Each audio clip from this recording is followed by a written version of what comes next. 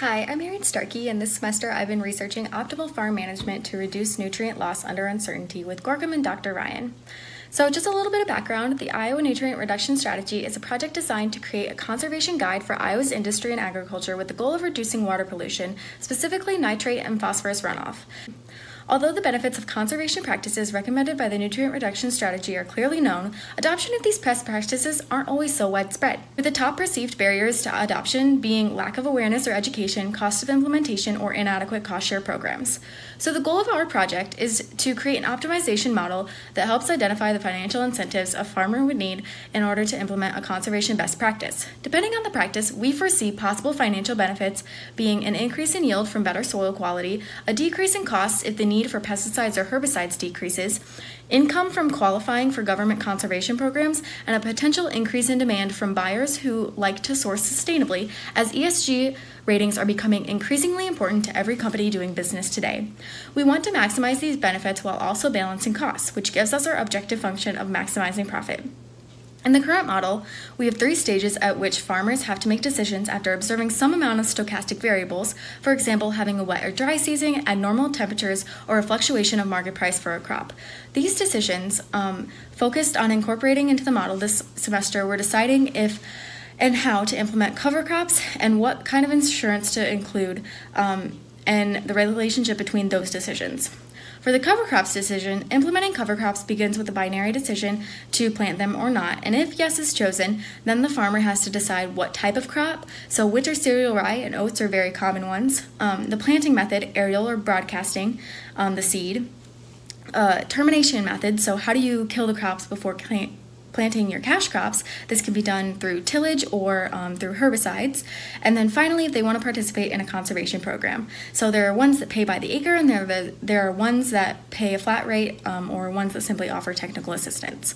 Um, in, in a study by Iowa State Extension uh, cost was calculated by tabulating the expenses of seed costs, planting, termination, opportunity costs from potential yield losses, and then just general extra management costs.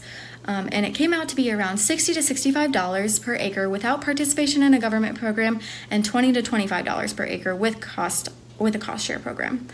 Um, so, however, this doesn't account for soil nutrient savings, which is about $3 per acre, and um, a $5 insurance coupon that was implemented in Iowa last year to cover um, cover crop users and it only accounts for the financial assistance a government program would give you and not even the technical assistance um, so any extra management costs uh, that you might gain there.